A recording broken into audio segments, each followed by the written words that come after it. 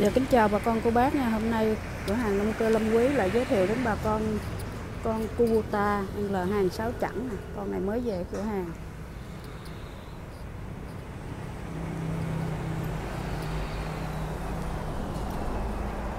Con này thì bốn mái ha. Con này vỏ trước hay xài à, 515.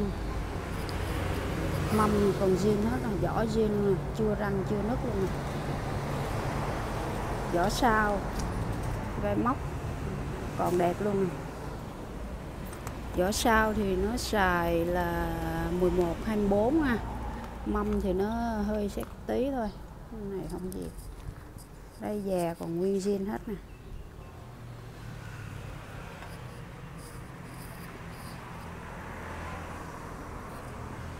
Là hàng sáu chẵn.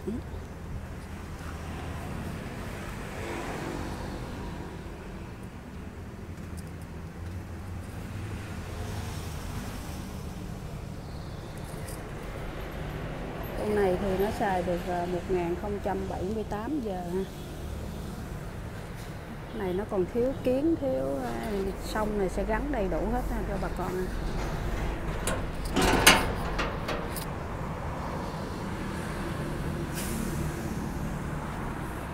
Nước lắp máy nè, bốn máy nè. 26 ngựa. Đây bên đó nó gắn cho cái kèn điện trà bá này bô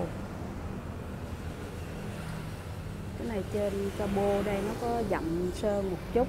Đè trên cong nó chày, có dặm sơn cabo còn hai cái dè thì nguyên hết.